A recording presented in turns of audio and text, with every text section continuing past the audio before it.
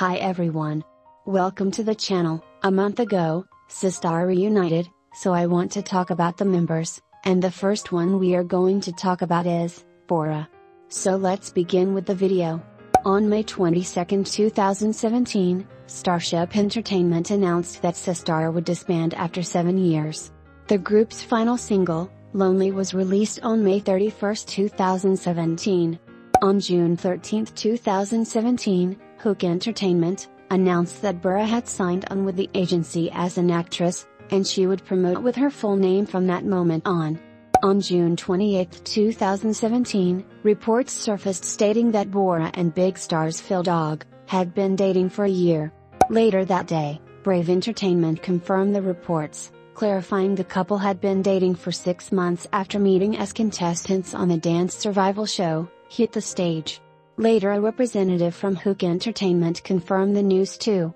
On November 15, 2017, Bora's Naver profile birth date was replaced with her real birth date, it changed from January 30, 1990, to December 30, 1989. In the same month, she participated in the TVN's fantasy drama A Korean Odyssey. In July 2018, Bora took over Mnet's Produce 48 host Lee Seung-gi's role, as MC for the position evaluation round of the audition program.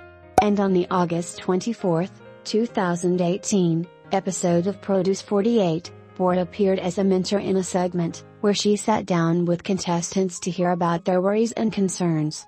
In November 2018, Bora was cast in OCN's Quiz of God, Season 5, Reboot.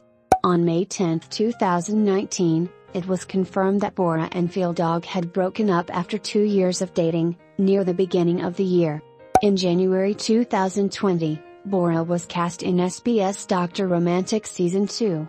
In August 2020, it was revealed that Bora had left Hook Entertainment and signed with Key East Entertainment. In October 2020, Bora was announced as the ambassador of AIA Vitality. In November 2020, it was announced that Bora was cast in NBC's Late Night Cafe Season 2, Hit Up! Hit Up! as the female lead.